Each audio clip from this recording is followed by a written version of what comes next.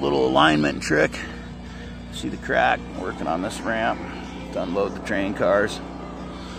And keep busting this front corner. You can see how far it's hanging down. It was hanging down twice that far. I had to regroup a little bit here, but I made a video of this way back in the beginning. I mean, this is a great trick. There's not enough weight here to pick up with the tines, fork tines, and it's not gonna it's not gonna raise this side. So I got me a big cheater bar.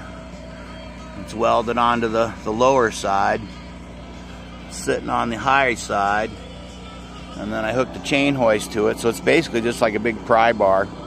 That's why I had to regroup.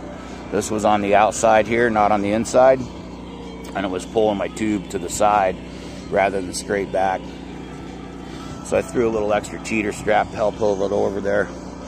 Move my chain hoist. I've already came up about half of that now. Weld on the pipe don't break. We're getting pretty close. We can get it to come up. Yeah, it's still coming up. We can get it to come up another quarter inch without popping, we'll be lined back up.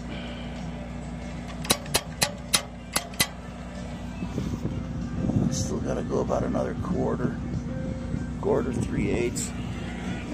Feels like the weld's starting to stretch back here. Just kind of be gentle on it.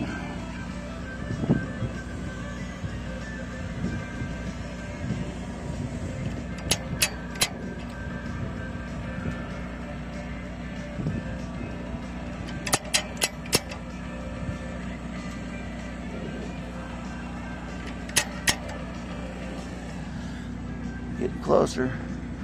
And once we get it on target, we'll just stitch it real quick. I actually got a gusset on the back side in there. It's broke once before. So I did a little stiffener in here behind it. Right here takes all the load when they're first starting to get mulch out of the car. So they're pushing down on the ramp real hard right here.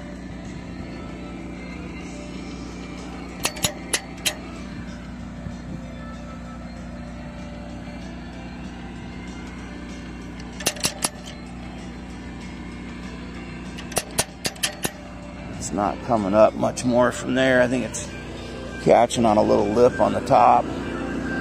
Take the hammer, take the sledgehammer and give it a pop or two. I Had a buddy that worked at Big O. They had like 12 handles for their floor jacks they were throwing away. It's like, man, I'll take those. Made some nice handles for the for some homemade sledgehammers.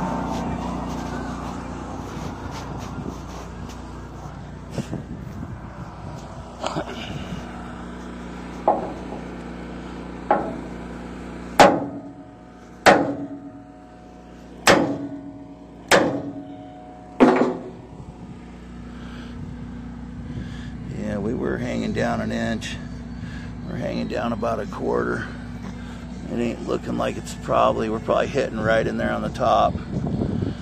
But that took the majority of it out. I'll probably tempted to cut off wheel it just a little bit there, but it's damn close. You can see by the weld.